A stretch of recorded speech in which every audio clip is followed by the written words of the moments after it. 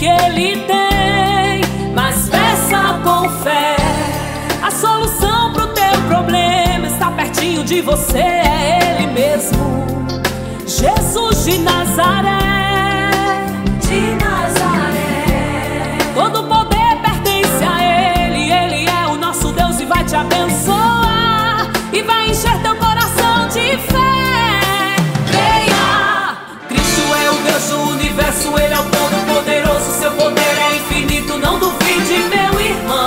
lhe adorar.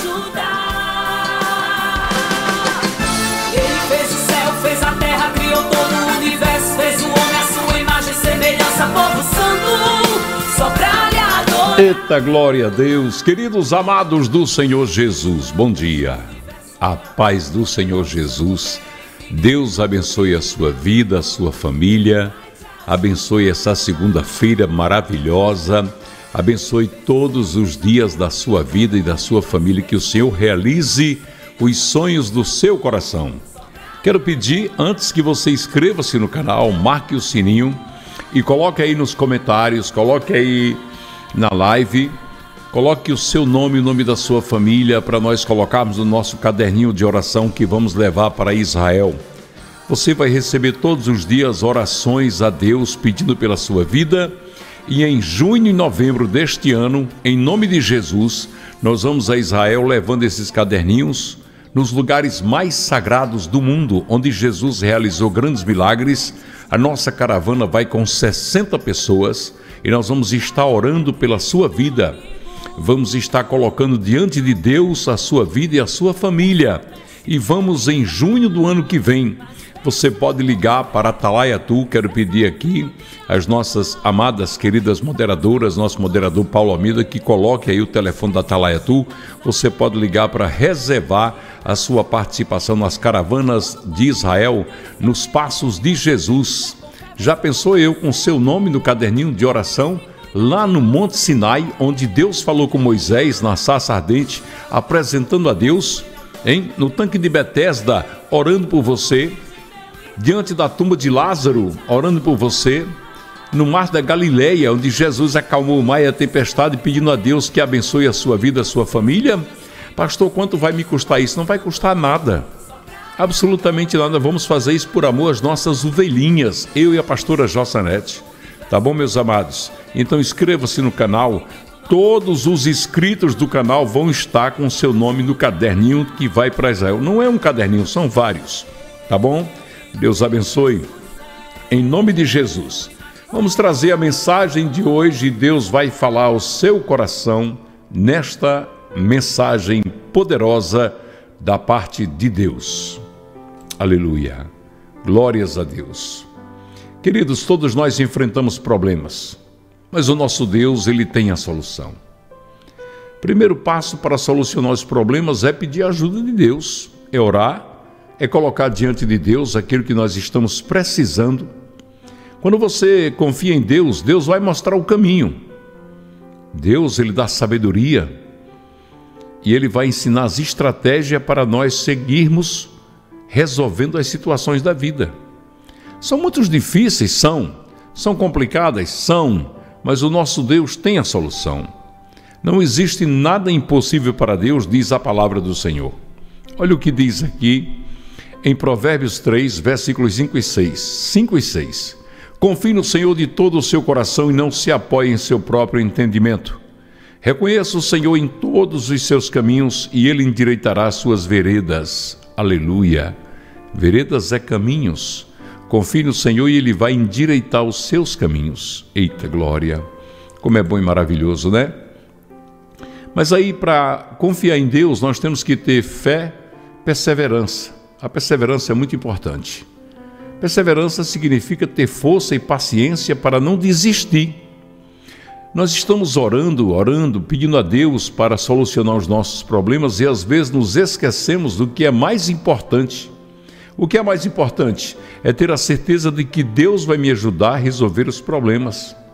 O nosso Deus, o nosso Deus, ele é Deus provedor e ele vai entrar com providências exatamente para nos dar a direção a ser seguida. E eu preciso crer, você precisa crer nesta solução que só Deus tem. Aleluia. Só Ele tem, meus amados. Pode ser problema na justiça, pode ser problema familiar, pode ser problema do casamento, pode ser o que for.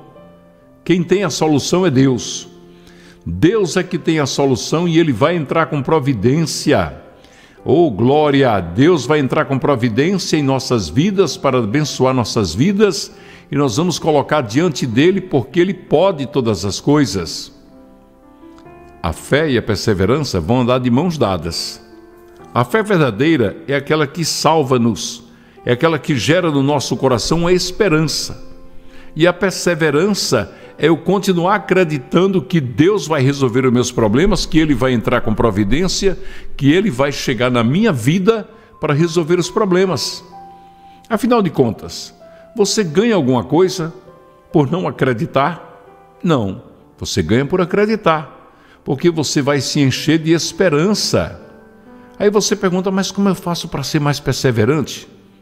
A perseverança cresce, amados, à medida que enfrentamos dificuldades e não desistimos da nossa fé, não apostatamos. Ninguém gosta de passar por tempos difíceis, mas Deus permite o sofrimento para nos ajudar a crescer espiritualmente. Somente vamos aprender a perseverar quando somos provados. No momento em que enfrentamos as dificuldades, elas não são fáceis mas nós precisamos acreditar na providência de Deus. Tudo isso é para ficarmos mais fortes. É verdade? Um músculo, para adquirir mais força, ele é colocado sob pressão. É por isso que quem faz musculação levanta pesos muito mais pesados. Assim é um crente provado na sua fé, que permanece fiel a Deus, acreditando na providência de Deus, ele vai ser mais forte. É claro, ele vai saber superar os problemas da vida com muito mais facilidades. A primeira coisa que nós temos que fazer é orar. Orar a Deus, falar com Deus. Daniel ele estava sendo perseguido na Babilônia e havia uma cova de leões esperando ele. Mas Daniel orava três vezes por dia. E o livramento na cova dos leões vem em decorrência da sua fé. Eu preciso ter a leitura da Bíblia regularmente. Eu preciso me reunir com irmãos eu preciso falar de Deus, eu preciso louvar a Deus, eu preciso refletir na palavra de Deus. Tudo isso que nós fazemos vai aquecer a nossa fé e nós vamos ser atletas da perseverança. Ô oh, glória, que palavra bonita, hein? Atletas da perseverança. E isso vai nos gerar, sabe o que no coração? Vai nos gerar força, fé e alegria. A palavra de Deus diz em Romanos 12, 12: Alegre-se na esperança, sejam pacientes na tribulação, perseverem na oração. Nós precisamos disso. Ser paciente na tribulação, nos alegrar na esperança e perseverar na oração. A palavra de Deus em Filipenses 4, 6 e 7 vai dizer assim: Não andem ansiosos por coisa alguma, mas em tudo pela oração e súplicas e com ação de graças, quer dizer, agradecendo a Deus, apresentem seus pedidos a Deus, e a paz de Deus, que excede todo entendimento, guardará o seu coração e a mente de vocês em Cristo Jesus. Esse guardar o nosso coração, a nossa mente, é guardar das preocupações. Aí eu posso estar vivendo a luta, eu posso estar enfrentando dificuldade, mas eu tenho esperança. Eu sei que o meu Deus vai entrar com providência para me ajudar a vencer esses obstáculos. Amém, amados? Deus é tremendo, né? Deus é grande demais. O glória. Eu quero mostrar para vocês aqui, porque ontem, no domingo, aconteceu algo na igreja que eu fiquei muito feliz, irmãos. Mais uma vez, nós tivemos uma grande quantidade de almas aceitando Jesus e no total foram 12 almas para Jesus. Veja um momento aí em que nós oramos e chamamos os irmãos para contar as almas que aceitaram Jesus no culto de ontem, culto da família, na sede internacional da Pão da Vida, na rua Felipe Camarão 1200, ao lado da agência dos Correios do bairro 12 anos, no centro de Mossoró. Escute aí, vou trazer para você aqui esse momento maravilhoso e você vai ver que coisa linda. Preste atenção. É para a glória de Deus que Deus deu para glorificar e engrandecer o nome dele. Pastor, 1 Tessalonicenses 5, verso 12. Compartilhe com a igreja.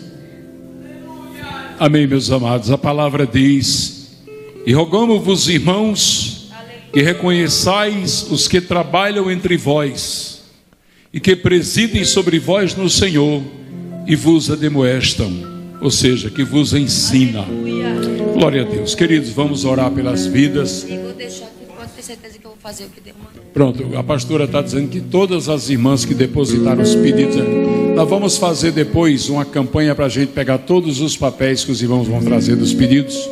E em junho, a primeira caravana com o pastor Chico Chagas e pastora Jossa Neto vai para Israel.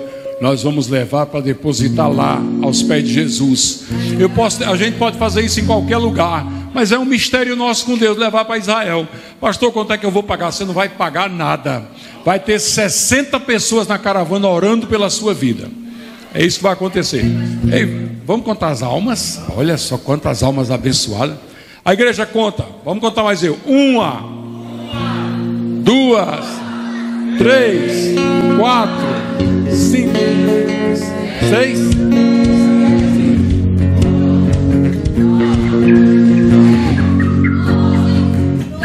A batizada no Espírito Santo é a doze. Hein? Vamos orar. A igreja fica de pé e bota as mãos para cá. Vamos abençoar essas vidas aqui. Vamos abençoar.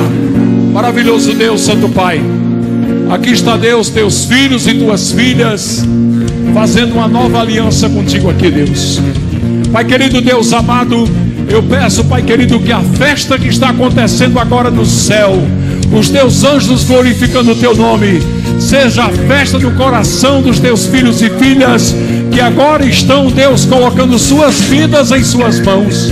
Deus, cuida da saúde de cada um deles e delas, cuidando da família, abençoando, enchendo o coração de alegria. Pai, recebe teus filhos, tuas filhas, a reacendendo seus nomes no livro da vida, para a glória do teu santo nome. A igreja diz amém. Eita, Pai do Senhor, Deus abençoe. Que maravilha, obrigado. Deus abençoe. Deus abençoe. Deus abençoe. Deus, Deus lhe abençoe. Deus lhe abençoe. Deus abençoe a sua saúde, viu? Deus abençoe em nome de Jesus, meu amado. Deus lhe abençoe. Junte-se a nós para ajudar. Nós estamos precisando de gente jovem. Deus abençoe. Minha amada, Deus lhe abençoe. Deus abençoe a igreja. Pai, abençoa a tua igreja. Deus, eu quero, Senhor, lançar sobre a vida deles, na autoridade do nome de Jesus, sobre a vida deles e delas, as bênçãos lançadas sobre a vida de Abraão, Pai. O Senhor disse que em nome de Abraão serão abençoadas todas as famílias da terra. E eu coloco diante do Senhor agora as famílias aqui, Deus, os irmãos que aceitaram Jesus na internet, os que estão pondo a vida à distância para serem abençoados. Eu quero profetizar uma semana cheia de bênção, uma semana de vitória, uma semana de cura, Deus, uma semana de realização para a tua igreja. Abençoa a tua igreja, Jesus. Que a graça de Deus, nosso Pai, o amor de Jesus Cristo, as maravilhas do Espírito Santo, seja sobre esta igreja hoje e sempre. A igreja dá um brado de guerra dizendo amém. Palmas para Jesus, igreja!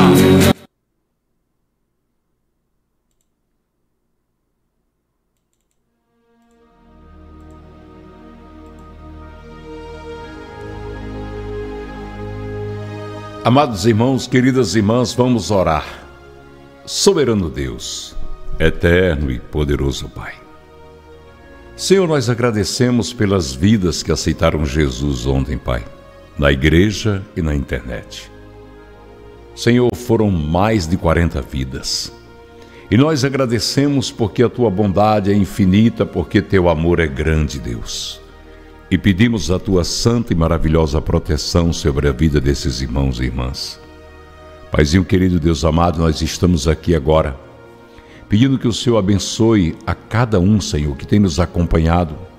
Abençoe, Pai, os inscritos neste canal, os que nos seguem nas redes sociais. Abençoa, Pai, os dizimistas e ofertantes que junto conosco fazem a tua obra. Realiza em suas vidas o milagre da multiplicação. Abençoa, Pai, os que têm votos e propósitos com a casa do Pai. Abençoa todos que desejam, Pai querido Deus amado, fazer a tua obra. Senhor, cura as enfermidades. Visita os teus filhos e filhas que estão doentes, que estão precisando serem abençoados pelo Senhor. Visita, Paizinho, as famílias, enche as famílias da alegria da tua presença, Deus. Recompensa a todos, Pai querido Deus amado, por fazerem a sua obra, por fazer a sua vontade. É isso, Deus, que nós pedimos, Pai. Protege as famílias, os pais, os filhos, avós, os sobrinhos, os tios, os primos. Guarda, Deus, toda a família debaixo da tua santa proteção. Não deixa faltar o pão na mesa das famílias, Pai. Não deixa faltar o alimento, Deus. Senhor, Alimenta teus filhos e filhas, Senhor, como o Senhor tem feito, Senhor. Guarda todos, Pai, de todo perigo, de toda maldade, de toda enfermidade. É isso, meu Paizinho, que nós pedimos e agradecemos no santo e poderoso nome de Jesus Cristo. Amém. Amém, papai. Glória a Deus. Amém, amados e queridos. Fiquem na paz. Deus abençoe a todos. A gente se encontra daqui a pouco depois do pastor Gabriel Batley. O Bom Dia Jesus. Vamos estar juntos em nome de Jesus no culto do lar. Vai ser bênção. Inscreva-se no canal, compartilhe esta oração da manhã com muitas pessoas. E eu quero dizer para você que você que faz a obra junto conosco, você que ajuda esta obra, veja quantas almas aceitando Jesus nas igrejas Pão da Vida. Meu Deus, que coisa linda. Deus abençoe. Fica na paz do Senhor Jesus. Amém.